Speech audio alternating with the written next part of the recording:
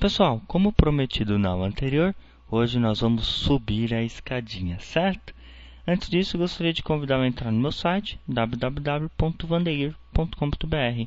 Ah, ó, antes disso, deixa eu explicar o que é cada um desses aqui, ó, desses termos, né? Então nós temos aqui, ó, quilômetro, hectômetro, decâmetro, metro, decímetro, centímetro, milímetro, ok?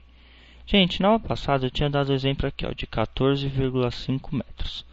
E eu prometi que eu ia passar esses 14,5 metros para hectômetros, certo? Vamos fazer isso agora. Hectômetro é esse aqui, ó, HM.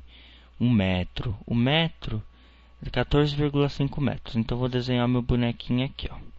Ele vai subir a escada, certo? Muito bem.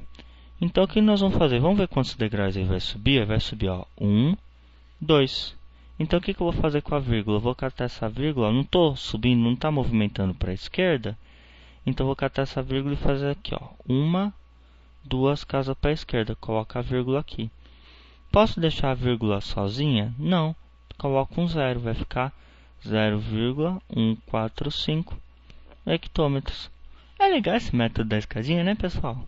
Então, um grande abraço e até a próxima videoaula com um próximo exemplo. Fui!